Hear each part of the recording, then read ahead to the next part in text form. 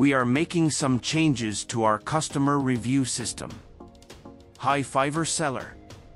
Reviews are an effective way to both gather feedback from existing customers and establish trust with potential customers.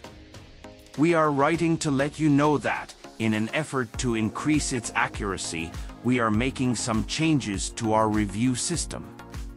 Starting next week, buyers will be able to leave reviews for cancelled orders in which a delivery was received and or orders that involve lateness or unresponsiveness. We understand that cancellations can be frustrating for sellers, but it is important to provide buyers the opportunity to share their experiences in order to build more transparency within our community.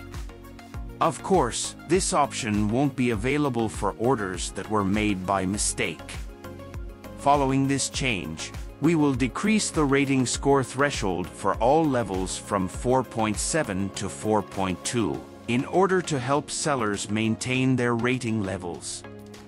We believe that this update will promote trust on our platform and yield long-term benefits for both buyers and sellers, especially those who provide quality user experiences.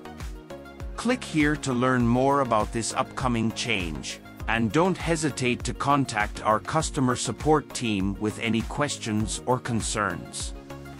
Thank you for your continued support. Best regards, the Fiverr team.